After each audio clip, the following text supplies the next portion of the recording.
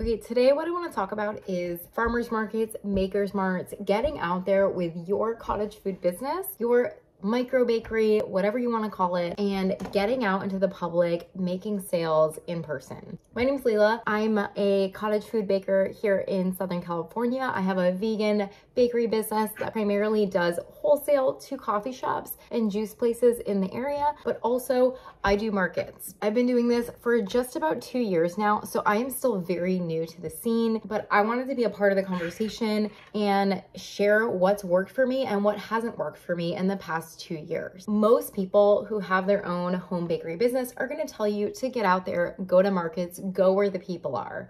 Of course, you can create an online presence and you absolutely should because you can't really have a business now without having an Instagram, maybe a TikTok, Facebook, maybe even a YouTube channel, maybe not.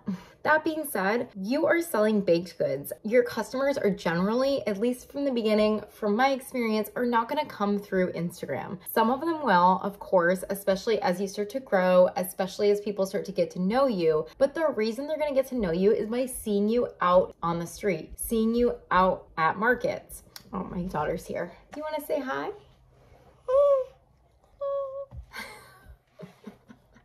Mm. Mwah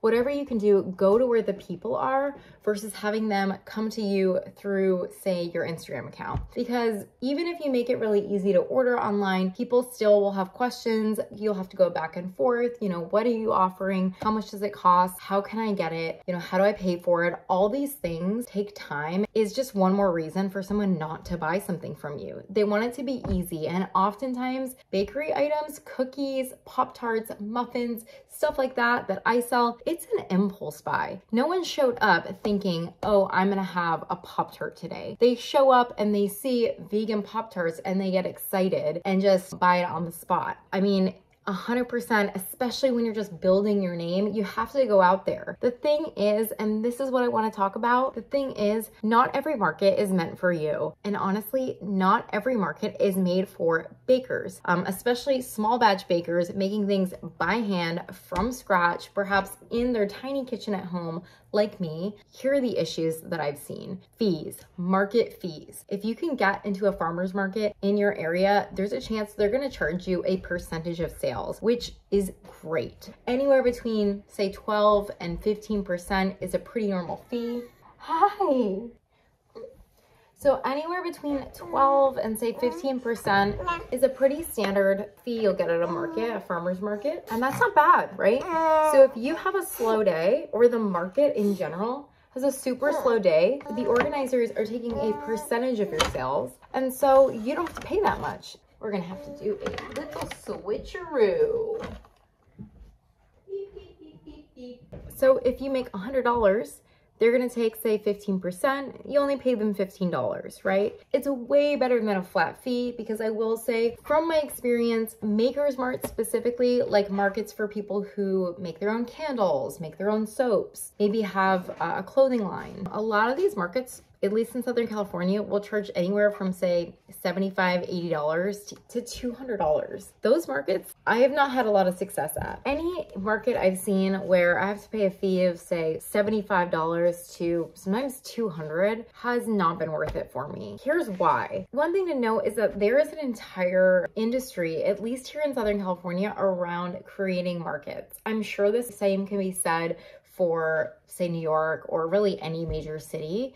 And so we have organizers who find places to hold events and they might be lovely. They might be at a super cute hotel, but they're trying to fill spots. At least from my experience, I've even tried to negotiate with some of them on fees. In my experience, it's not worth it and here's why. I'm selling items from between five and sometimes seven to eight dollars, but that's it. That's my cap. I'm selling a $5 cookie. I'm selling scones. I'm selling a Pop-Tart. I'm selling small items. I'm not selling a piece of clothing for say 50 bucks. I'm not selling a jacket for a hundred. So for me to make back that fee, say a hundred dollar fee, I've got to sell, let's say 20 cookies at $5 a pop. Now 20 cookies is like no big deal, right? Sure. It really just depends on foot traffic, right? So if it's a event that's being held on the street, um, you might actually see a good amount of foot traffic, in which case you'll make that 100 bucks in no time. What I found that a lot of these really curated events that charge the largest fees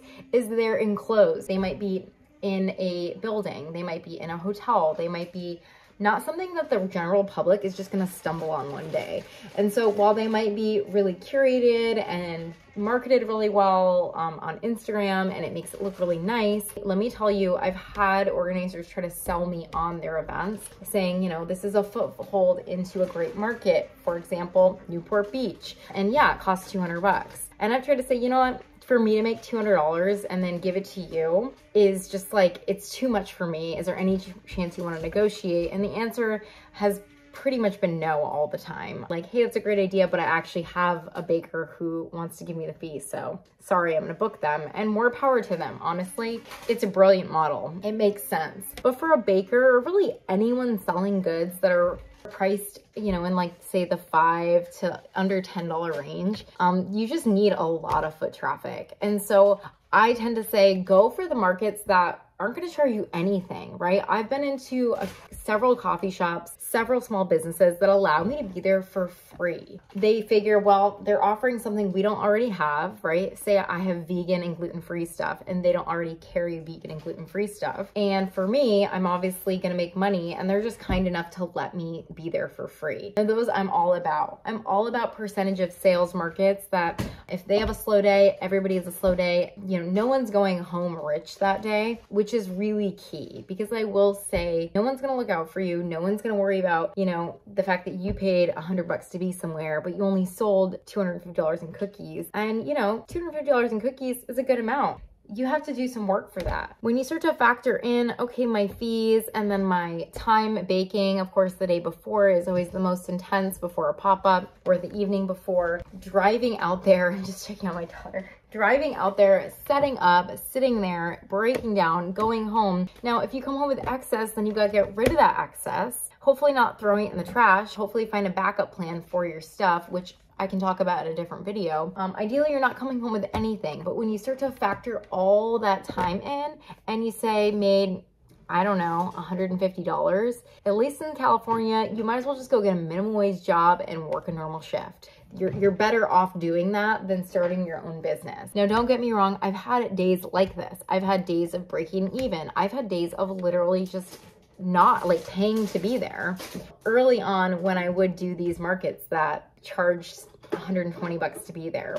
I don't do that anymore. I actually started targeting coffee shops um, to do wholesale, which of course you make less per item than you would selling it yourself, but there's consistency in wholesale. They have their customers and and as a new baker who doesn't have that many people who know who I am, I'm letting them take a piece of the pie because they've got the customer base. They pay the rent, they pay for all of their uh, utilities for that building. They've put in the time to build their own brand, their own space, and then they allow me to come in there and I get a piece of the pie. It's kind of how I look at it. But it's not for everybody. Other people want to make it, you know, they want to make it at market. Go for it, do it. My two cents is just skip the high fee markets. They're generally not worth it. Of course, there are exceptions to this rule. One might be a large food market, right? So these large, thinking of um, vegan food festivals that happen here in California, and I'm sure everywhere else in the country, and they charge steep fees, but they bring in, you know, thousands and thousands of people. And I know from other bakers that have done these events, they're worth it, right? Maybe they paid 900 bucks to a thousand bucks to be there,